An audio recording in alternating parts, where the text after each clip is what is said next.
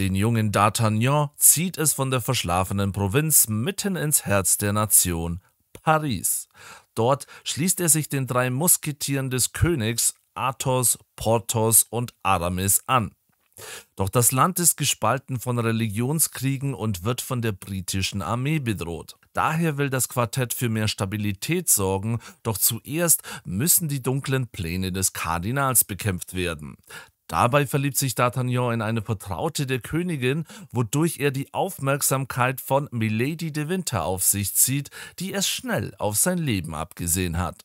Die drei Musketiere D'Artagnan stammt aus dem Jahre 2023, hat eine Lauflänge von fast exakt zwei Stunden und eine Freigabe ab zwölf Jahren. Gedreht wurde fast ausschließlich in Frankreich an 150 Drehtagen.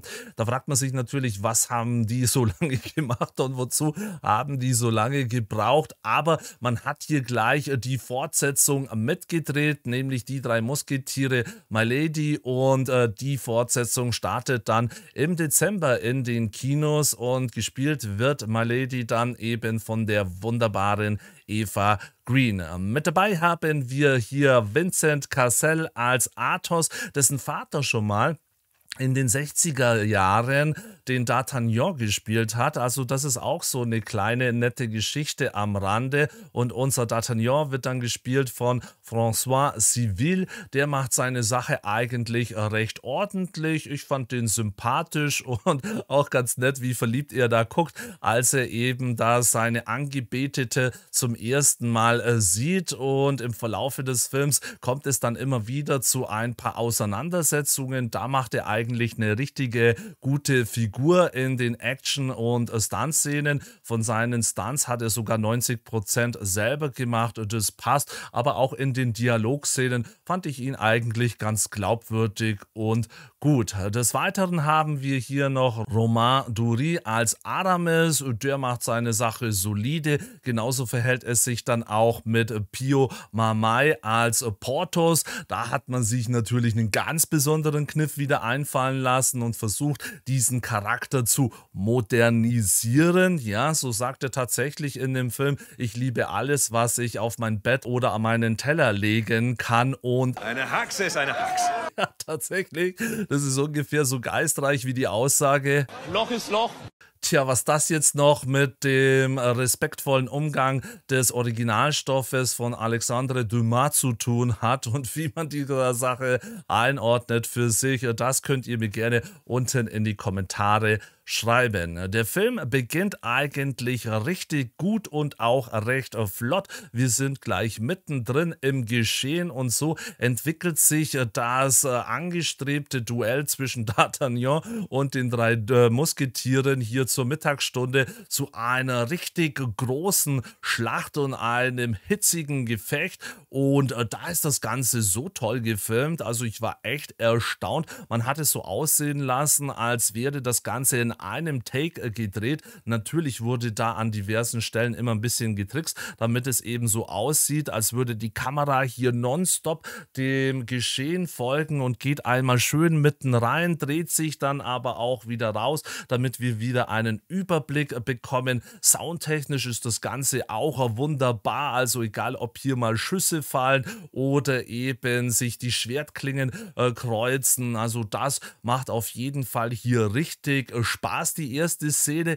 Dann verliert der Film sich aber leider in viel Gelaber. Okay, man muss die Story auch vorantreiben und wir wissen, es geht auch um viel Intrigen und so weiter und so fort. Aber dann geht es dann wieder in die nächste Action-Szene rein oder wenn Athos jetzt hier diese Intrige an den Hals geworfen wird, dass er jemanden umgebracht hat, er dafür vor Gericht äh, kommt und zum Tode verurteilt wird, dann wird es mit so trauriger Musik auch untermalt und in Slow Motion, aber das geht alles so schnell und wir haben den Charakter überhaupt noch nicht kennengelernt, als dass wir hier irgendwie mit ihm mitfühlen können. Erst danach entwickelt sich so dann auch dieses Band äh, zwischen D'Artagnan und Athos und äh, dann ist das Ganze wieder etwas besser gelungen, geht dann wieder in die nächste, nächste Action-Szene rein.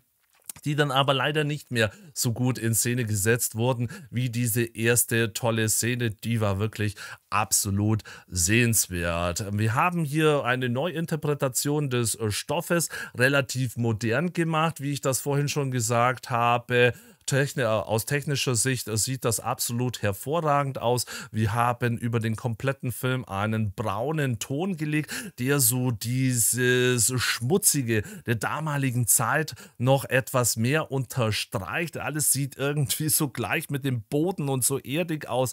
Die Gesichter sind immer voller Dreck, aber das wirkt authentisch. Das fand ich gut. Genauso die Kulissen im Film, die fand ich auch sehr gut und überzeugend und genauso verhält es sich dann auch auch mit den, äh, mit den Kostümen. Also da hat man sich wirklich viel Mühe gegeben. Das war wunderbar. Etwas, was mich an dem Film hier gestört hat, war, dass zwischenzeitlich eben Englisch gesprochen wird. Ja, es gibt ja auch immer Stress mit den Briten hier und das passt irgendwie nicht so in den Film mit herein. Gut, in anderen Filmen lässt man auch immer die Leute so sprechen, wie sie naturgemäß eben äh, reden, aber die unterhalten sich dann auch hier mit den Franzosen und dann sprechen die auch Englisch. Also das passt irgendwie nicht ganz gut äh, zusammen. Das hätte man noch anders lösen können. Insgesamt fand ich den Film ganz ordentlich. Also ich habe mir da schon etwas mehr versprochen, nachdem ich den Trailer gesehen habe und nach der, nachdem der Film hier so gut